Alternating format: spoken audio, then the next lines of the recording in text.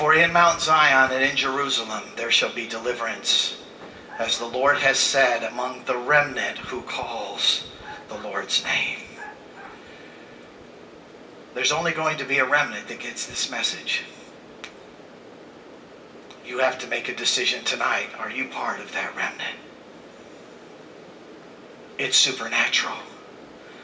We're going to close with this song tonight until we break through. We're going to lift up the name of Yeshua, Jesus. We're going to lift up a banner. I'm going to ask that would someone bring the basket of banners that are in the back corner? Someone bring them and put them down front. Is there banners on this side too? Wherever the banners are, I want you to bring them. The Lord showed me this earlier today, and this is particularly for some men, but maybe some women too. Yeah, if you bring it down, Wyoming. If you're a man in this house and you have never waved a banner at church, I want you to come and wave a banner. I want you to man up and worship. Quit letting your wife do all the worship. Well, she takes care of that, and I'm over here. I work hard, I make the money, we tithe, we bring offerings, but she's the one that does all the intercession. She's the one that waves the banners. She's the one that acts like a Jesus freak while I'm cool with my friends. You want a good dose of the ghost? Get out of the pride. And it's amazing how waving one of those, look at just a piece of cloth. Now, if we were at the OU football game or the Razorback or the Cowboys, it wouldn't make any difference. Whatever that flavor is, you know, we as men will take our shirts off. And most of us don't need to be taking our shirts off. You know, when you're at the game with your shirt off and your friend can park his beer as a cup holder in your belly button, you need to leave your shirt on. But yet you'll do that and you'll put the letter of the team and then you get with your friends and all that is cool, which is all the devil. But you wouldn't dare come to church and let tears come down your eyes and and wave and thank God so that when we pray for the grandbaby who the enemy tried to kill,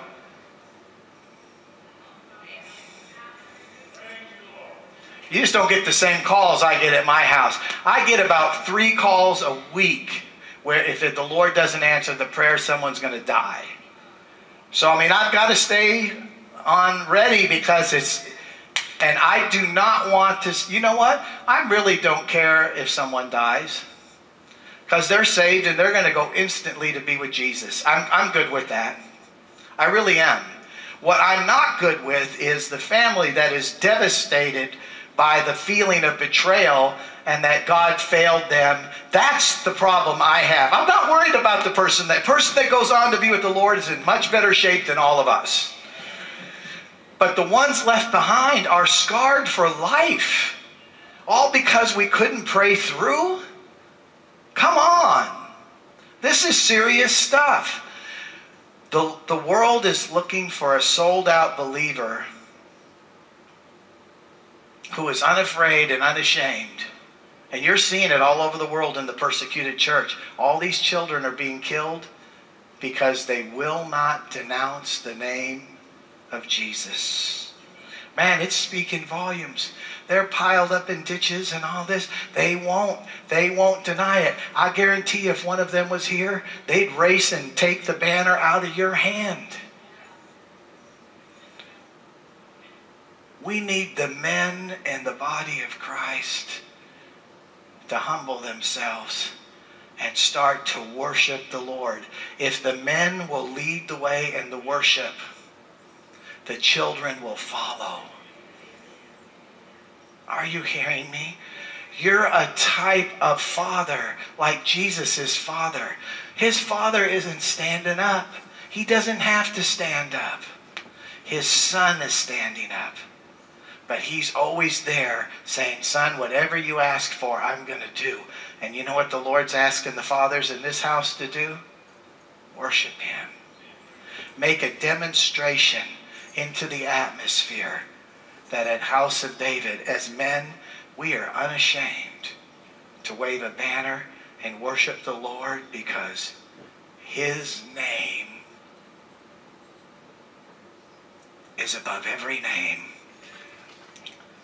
and every knee, and let mine be first. Bend and bow to the name of Jesus. If you'll bend your knee in your heart and ask the Lord, Father God, I ask that the Father send the glory. The glory will come.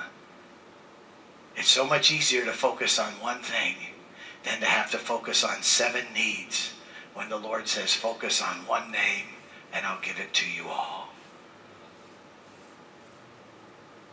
If you just bow your heads as the worship team starts into this proclamation, let him go through the song the first time. And then I want you to obey whatever the Lord tells you to do. I want you to do it.